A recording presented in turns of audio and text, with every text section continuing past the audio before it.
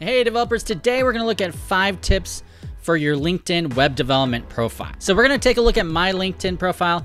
I'm going to show you a couple of other profiles that I think are really good, and we're going to talk about some tips that you guys should know to really nail down your LinkedIn profile because it is so important to have a good LinkedIn profile for you to be able to get recruiters to contact you, for employers to look through it, understand what you offer a company. There's just a lot of little things, so I'm gonna distill it down to five things I think are most important. Also, I'd love to hear if you guys have any tips for LinkedIn profiles. Make sure you leave a comment below. I'd love to see them. I really appreciate it. And before we get too far, let's have a quick word from our sponsor. I'm really excited today to talk about our sponsor, Linode. And actually, make sure you listen all the way to the end. They have a really cool deal for Program with Erik subscribers. Basically, Linode allows you to host your own app, site, or project in the cloud. They provide virtual servers that make it super easy and affordable to get your projects online and shareable with the world. They have hosting starting at $5. It's really, really cheap. So whether you're an experienced developer or just starting out to tinker with code, you can use Linode. So if you're a viewer of Program with Erik, you can get $20 in free credit on new Linode accounts by signing up at linode.com slash program with Erik. That's up to four months free on the smaller plan. So get started by clicking the link in the description below. Thanks again. All right. Hey, and if you don't know, my name is Erik. I'm a full stack software developer. I've been doing software development for over 10 years. I've done the front end, back end. I'm also a published author. I have a couple different books. So that's a little bit about me. If you guys like videos on JavaScript, web development, career advice, make sure you click that subscribe button and also make sure you click that little bell button and smash that like button. And also, I'll just go ahead and I'll include my LinkedIn profile in the description below. If you guys want to become uh, a connector to me on LinkedIn, just click it. I'll I'll add everyone. I'm I'll just add everyone. If you want to be a, a connection to me, just click on that LinkedIn profile. All right, so I'm going to kind of go over these five tips. I'm going to kind of take it one by one. I'm going to just riff off of it for a little bit. So first, obviously, uh, this is not a tip, but this is beforehand. Make sure you go to linkedin.com and create a LinkedIn profile if you haven't already. That would be step zero. but if you haven't, it's absolutely for free. And once you have one, you can really put it anywhere you want it. You can put it on your resumes. And but what's really nice is a lot of employers use LinkedIn. A lot of recruiters use LinkedIn to find candidates. And as a web developer, you are at a disadvantage if you don't have a LinkedIn profile. It's just fortunately in the last 10 years that is, it's become the norm. This is like how uh, many many recruiters, how many people find people is through LinkedIn. Okay, so first thing I want to show you guys, this is my profile. And one thing I like to do is I like to go to settings and privacy and do a few things here. So this is my first tip is that to go into your settings and privacy and make a few changes. First, you want to take a look at edit your public profile. And here you're going to see right here in the top right hand corner, edit your custom URL. This is really important. I've seen a lot of LinkedIn profiles that never created their custom profile URL, and this is kind of a no brainer, especially if you're going to be including this address on your on different websites, on different uh, resumes, you're kind of if you're sharing it with other people, you want to create a custom URL, and I think it's really good too for SEO purposes. So when people search your name, it comes up with this nice, clean URL. Next thing I look at is the edit visibility, and this is still tip one, by the way. And uh, I kind of look at what what my settings are. So I usually use basic name, number, connections, and regions. And then I put this public, and this is all LinkedIn members on or off LinkedIn. Your contents could be visible in search results. So that's why if someone Googles your name, they can actually see your LinkedIn profile. But I usually don't allow everyone to see all the information on my LinkedIn profile unless they're my friend or they're signed up to the service. So they can only see like my background photo, the headline, summary, articles, activities, current de- current experience and details, but I leave off like my past experience, education courses, projects and groups because I don't want everything public. I think there are people and websites that all they do is they look for public profiles and they just collect a bunch of information to build profiles for you online. They scrape information off LinkedIn. Now, if you're logged into LinkedIn, you can get it, but LinkedIn actually has kind of anti-bot technology to help people to stop from scraping everybody's LinkedIn profile. I mean, obviously it's not perfect, but at least this way, you have to at least be my friend, and I believe even um, at least have an account to get more information about me. So that's for my first tip is to make sure you have a custom URL And make sure you set these settings, I would say, to not divulge everything to people that are just randomly searching you on Google. That's the second thing I want to say. If I go back to LinkedIn here for a second, actually, I'll click on this tab and I'll go back to my uh, view account settings of privacy. If you see here down here, there is how others see your LinkedIn activity. Choose whether you're visible in viewing or private mode. I did full profile if they're on LinkedIn, of course. But I also have this. These three are down here. So share jobs, changes, education changes, and work anniversaries from profile. I put this at no. And what this does is if you set this at no, every time you like update your profile and you may change your position or change the number of years, like you have a work anniversary, uh, or you like put some, like you even put uh, job changes, anything like that, it'll go onto your activity feed, and then everybody that's basically friends with you will see the change. And I really think it's invasive almost. You know, it's kind of weird too. You'll get like congratulations every year that your work anniversary comes up. And then anytime you like you lose a job or something happens, like it'll be on the activity feed. So people like, oh, what happened? You changed jobs. And I really think that I rather control that information and post it myself on my activity feed if I want, rather than having LinkedIn do it. Do it. And it also spans people's LinkedIn activity feeds. Uh, it used to be really bad. It's not as bad as it used to be, but I would recommend to leave that as no. Also, notifying connections when you're in the news. This is kind of interesting. Some people can tag you like they do on Facebook. I just put no here because I don't want people to randomly tag me. And then mention others' tags. Choose what other members can mention or tag you. I put yes here. Um, so they can tag me, but um, it's not going to notify my connections when they tag me. So I think that's kind of a good compromise.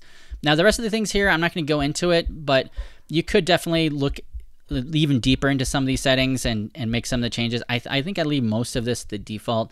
Like I don't care about the ads and communications. You can also make it change it so that way if you search someone else's profile, like they don't get notified or but in that same sense, like they you don't get notified when people search your profile. There's things like that as well. All right. So that's really that was tip number 1 if you can believe it. Now, I'm going to combine tip number 2 into two things here. And this is so important when you're creating your LinkedIn profile, you want to make sure you have a nice professional image of you that's somewhat up to date. You can see here, this is actually a few years ago, so I should probably be updating this. But at least it looks like, you know, it's a nice profile picture. You can see here the lights. This is actually Christmas lights. Someone actually once told me, hey, you should probably update your your uh, LinkedIn profile as Christmas lights in the background. I, I know I'm not that big of a stickler on that. You know, I just left it in. Obviously, I want to put a nice new professional photo here soon. I'll probably be updating it, but you can see here, this is me, you know, when I was a little younger, and it, it looks good, I think. And then I also put this banner right here. Now, this is not the best banner, but I think it's okay. I put Program with Erik, programming tutorials, and your favorite frameworks. This kind of gives a flavor of I'm an educator, and this is one of the things I'm passionate about.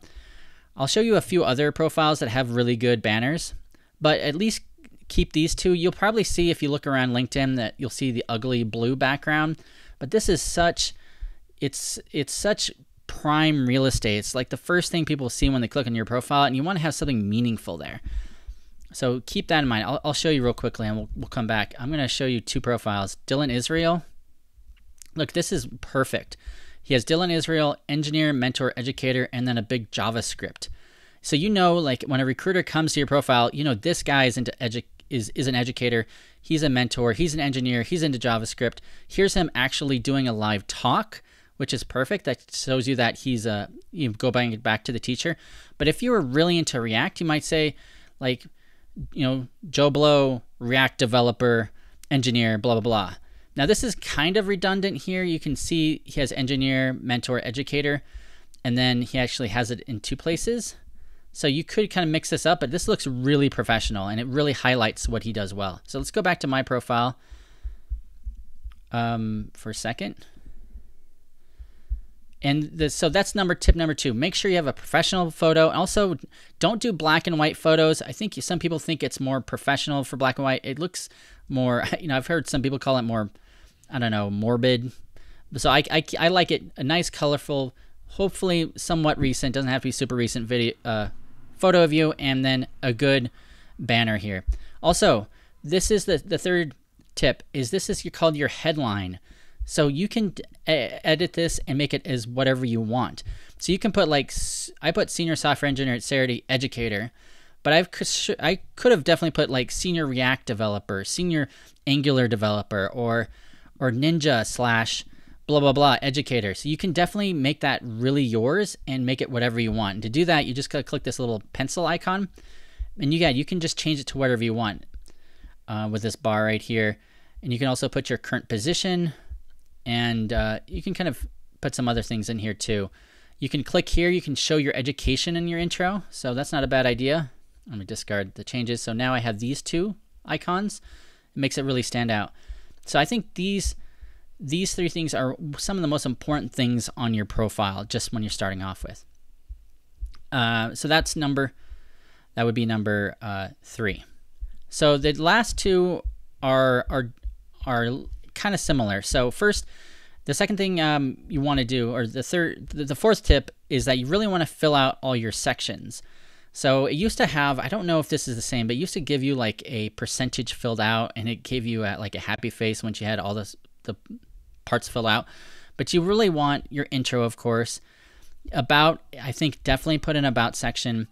You can put a featured section if you want. I don't have anything in my featured and then your experience. I think those are some of the most important ones. So if you have your um, about page right here, this is really a way for recruiters to get to know you. So this is where I would put things like what you're passionate about, what's your vision, and also make sure that if you have the people come to your profile and they don't click the more button. So if I refresh this, um, you see here, how do you do great developers?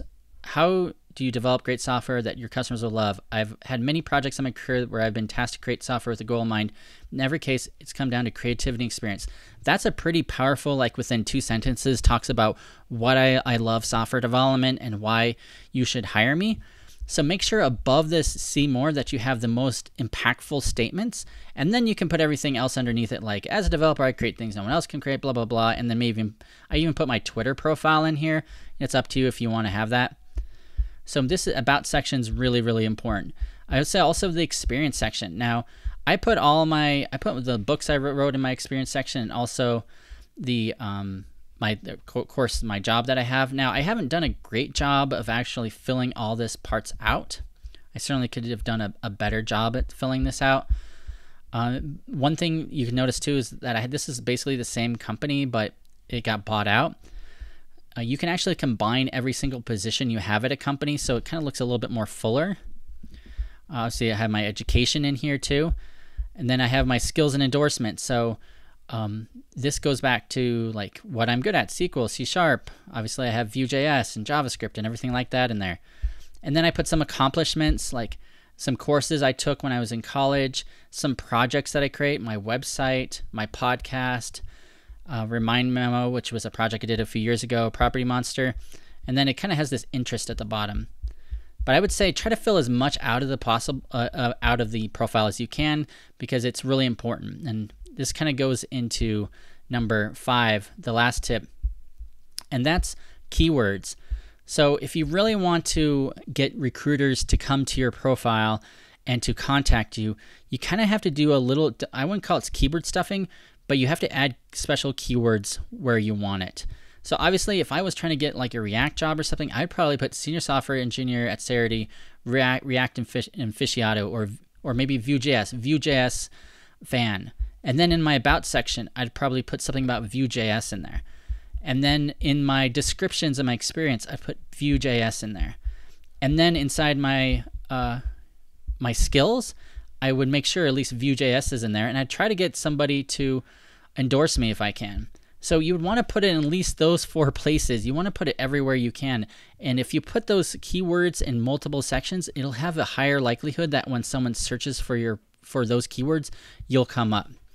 So that's the the fifth tip is just to make sure you have the right amount of keywords in your profile and they're in the right places. So let me show you a couple of really other really good ones. Um, I have Kylie Rowe. I Okay, so I, I, I, I, did an MBA program at UNR, and she was also part of that MBA program. But you can see right here, really great, great headline. Th- three time entrepreneur, keynote speaker, leadership and business development.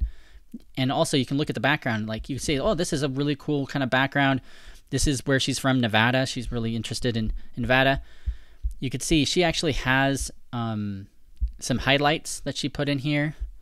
She has a, a really good about section. Remember, before above the fold, before see more, three-time entrepreneur, keynote speaker, group trainer, representative. She has a bunch of featured, so you can put like YouTube videos that you were in. Um, she did newscasts, things like that. She has her activity feed. Like I'm not a big fan of the activity feed, but if you're like posting a lot of information, you can add it in your activity feed. Here's the, the experience. Now look at this. So this is her job, Las Vegas Global Economic Alliance, but she has every time she changed position, she added a new position underneath this company. So that way it kind of shows you not that she just did vice president of economic development, but she also did these things as well when she changed position to the communications and public affairs. So it's really well detailed. It's all um, bullet pointed too, so that makes it really easy for people to read and find out what she did on the job. And you can actually even get endorsements. Um, people write letters of recommendation too. She had her stuff she did at UNR, and then she has all her education. And then volunteer experience. This is perfect, especially for what she's doing with leadership. She has her volunteer experience. She has a bunch of skills and endorsements. So, a lot of endorsements from a lot of people event planning, public speaking, nonprofits. This is something I don't have, but you can put recommendations. So, you can even ask people there's a you can there's a button called ask for recommendations so you can go into your linkedin profile and just ask people to recommend you and these are perfect too to to have other people recommend you she already has she's and by the way a lot of times it's kind of quid pro quo on the recommendations. If you give recommendations, people will give you recommendations back. So keep that in mind. And she has tons of accomplishments like 30 under 30, bunch of publications, honors, and awards. So this is a really good profile. And then I would show you uh, Dylan's again. We only saw the top. So here's Dylan's profile. I think this is a really good example of of uh, of a LinkedIn profile. Once again, really powerful headline, really great background, good picture. And then he has his featured, like his YouTube videos that he puts are kind of just featured here at the top. Then he has, he's big on the activities. He posts a lot of stuff on LinkedIn, so that shows up. Once again, he has almost bullet points of everything he's worked on. So if you're, he gets tons and tons of recruiters contacting him all the time. Like he, his inbox is super full. He gets probably, I don't know, a few more than a few a week. But he had look at all these keywords. So if someone's looking for a JavaScript developer or software engineer, I mean, he has that even JavaScript in his logo.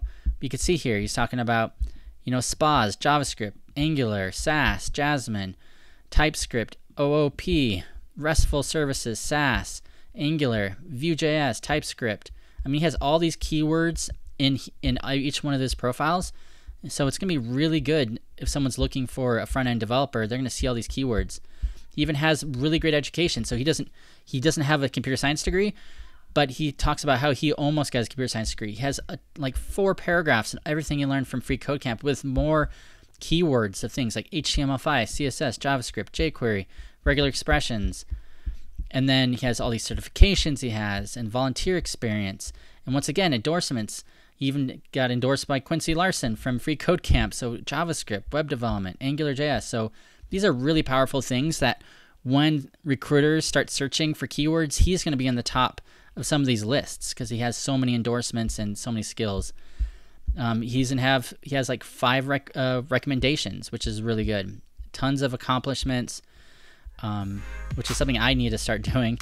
So this is another really good profile. Um, to help you out. So I hope that was a lot of information. I hope you guys will be able to get that, land that perfect job. If I've missed anything, leave a comment below.